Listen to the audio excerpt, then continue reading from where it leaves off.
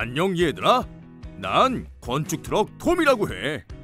난 톰의 가장 친한 친구 매티야. 우린 같이 많은 것을 만들어. 오늘은 헬리콥터를 만들 거야. 함께 가지 않을래? 자, 출발할까? 헬리콥터를 만들기 위해선 다양한 모양이 필요해. 이곳에 다 모여 있네. 좋아. 받침부터 설치하자.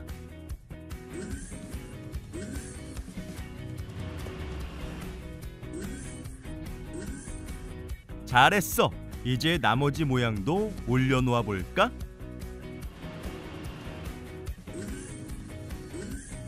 이 모양은 헬리콥터의 기본 틀로 사용하자. 바로 위에 올리면 돼. 잘했어. 다음은 둥근 사각형을 사용해 보자. 뒤쪽에 놓아 보도록 할까?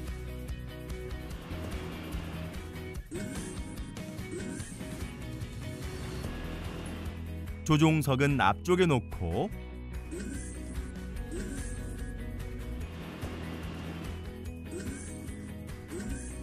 잘했어.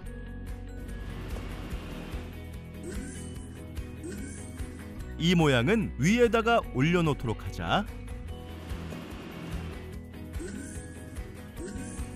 좋아. 이제 꼬리가 필요하겠지?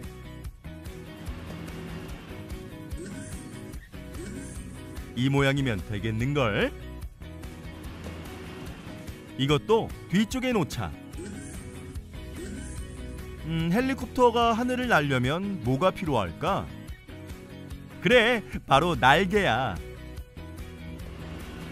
큰 날 두 개는 위쪽에 놓고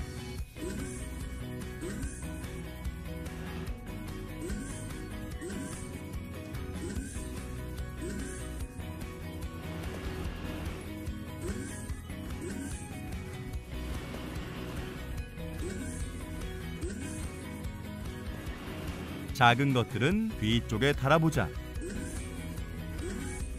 좋아, 거의 다 됐어. 이제 창문만 만들면 돼.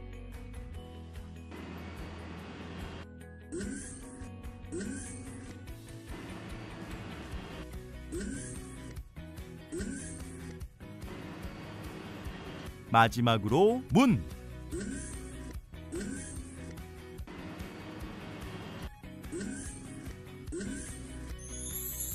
완성이야. 헬리콥터가 날아갈 준비가 되었어. 좋았어. 모두들 아주 잘했어. 음, 최고였어. 모두 정말 고마워. 자, 이제 돌아가자. 해야 할 일이 더 많이 남아 있다고. 모두 안녕.